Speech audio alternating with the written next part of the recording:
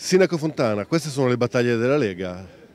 Queste sono alcune delle battaglie della Lega, quelle che ci riguardano direttamente, quelle che riguardano tutti i lavoratori, tutte le persone che vengono sempre più vessate da questo Stato che non è in grado di dare risposte ma è in grado soltanto di aumentare le imposizioni di tassazione dirette e indirette. Io ho detto che l'autostrada Milano-Varese dovrebbe essere considerato un servizio sociale per eh, l'economia, perché chi, chi, va, chi, chi percorre questa autostrada contribuisce a creare un po' della ricchezza di questo paese, invece si cerca di penalizzare. In altre parti del paese le autostrade sono gratis e, e nessuno si preoccupa di aumentare alcunché.